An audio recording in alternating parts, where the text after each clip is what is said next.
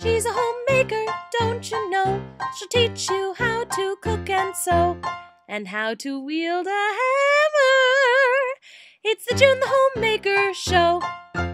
Hello and welcome to the June the Homemaker Show. I'm your host, June the Homemaker, and today on June the Homemaker we have an extremely special guest. Everyone, this is Mom the Homemaker. Hi. A couple of weeks ago, maybe a week ago, Shelby left me a comment on Facebook asking if we might not do an episode about ironing because she has a really hard time ironing shirts, especially if they have darts in them. Here's the thing, I don't know how to iron at all. But when I mentioned this to my mom, mom said, oh, I've been doing ironing my whole life. Only apparently we've never had a mother-daughter moment about it. So we're about to have a mother-daughter moment on camera. Is this it? I'm pretty sure this is it. Yeah. So we're gonna do some ironing. I already set up the ironing board here.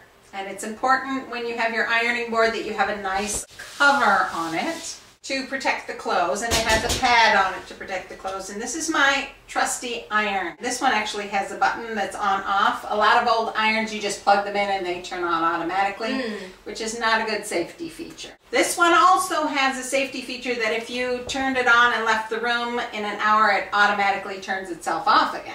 That is my kind of iron. Most irons have a steam function. In order for an iron to steam, you have to add water.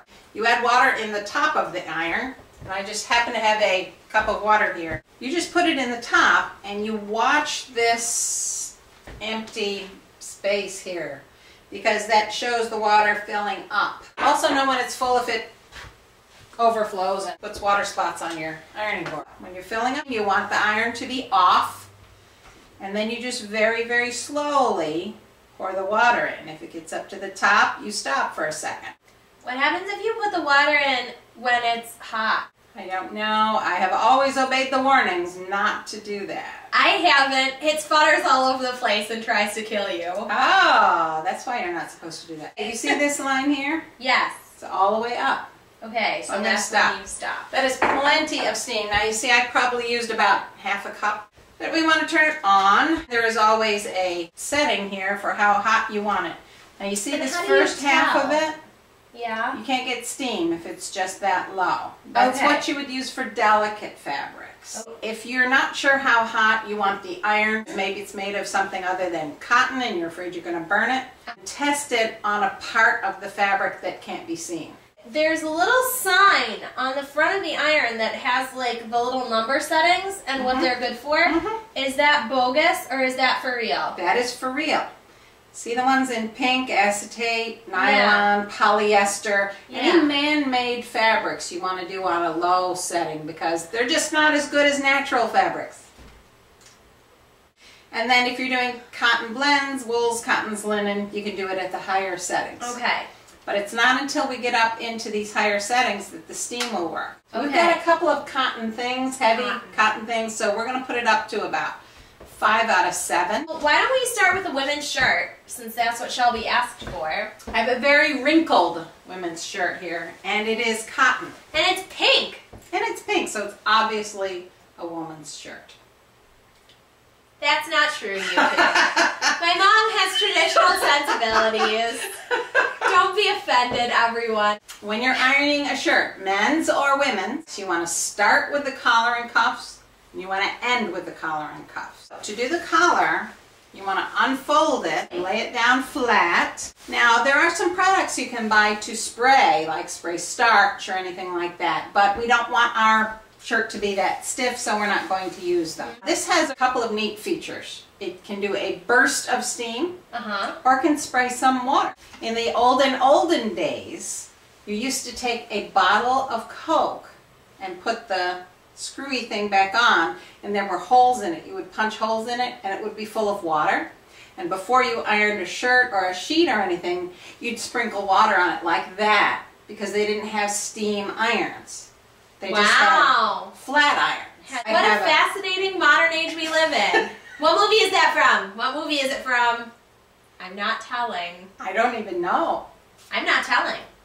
You have to post it in the comments. When you turn it this way and you hear that and you see the steam, you know it's it's hot enough, it's ready to go. We could just iron with the steam coming out, but more effective is to spray it with a little water first. Well, when I do the collars of shirts, I feel like I always end up ironing wrinkles into them.